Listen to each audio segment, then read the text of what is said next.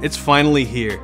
Framework has delivered on their promise to produce an upgradable laptop with the release of their new mainboard with Intel's 12th generation core processors. What's more, we're being treated to a new lid with increased rigidity.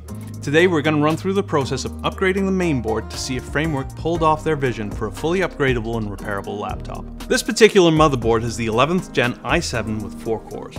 We're switching it out for the new 12 core i5 1240p a huge upgrade. Normally when doing an upgrade like this you have to replace a whole bunch of parts. Thankfully Frameworks made this process super easy. To get started with our upgrade we first need to remove all the expansion cards before we undo the 5 screws on the bottom cover. Let's flip this over and open the device up.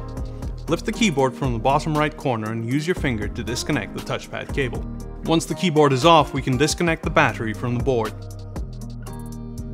Disconnect the audio board cable, speaker cable, display cable, webcam cable, the two Wi-Fi antenna cables, and we'll go ahead and remove the Wi-Fi card while we're here.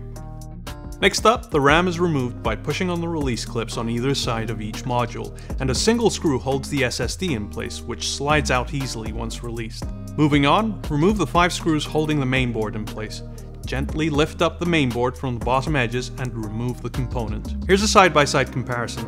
These boards look exactly the same, it's a good thing they're labeled. We did a similar comparison of the MacBook Pro 13-inch M1 and M2 boards, and at the time we wondered if Apple had beaten Framework to the punch. Unfortunately, it turned out to have software compatibility issues with the trackpad, keyboard, and Touch ID. So far, Apple hasn't addressed the cross-compatibility problem, though the folks at Asahi Linux Project have shown that the components can be made to work with each other. Anyways, to reassemble the Framework laptop, all we need to do is to repeat every step in reverse. But while we're here, let's take a moment to admire the simplicity of replacing a screen and top cover on these machines.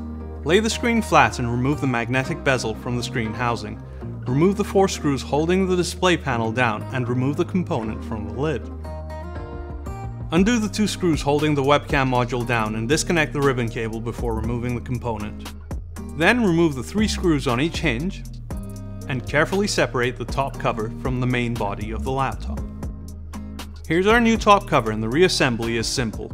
Three screws on each hinge, replace the camera module, and redo the two screws and ribbon cable. And finally, reattach the display panel and secure it in place. Add the magnetic bezel and you're done with the screen. We'll go ahead and insert the new main board and secure it in place with the 5 screws we removed earlier. Let's reseat the SSD and RAM modules, and then reinsert the Wi-Fi card and reconnect the two antenna cables.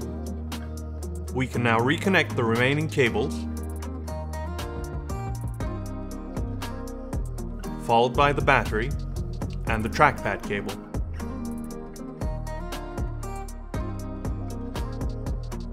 We'll finish up by screwing the bottom plate back in place and reattaching the expansion ports. Too easy. We just took an 11th gen laptop and upgraded it to a 12th gen laptop, and just for kicks, we replaced the lid too.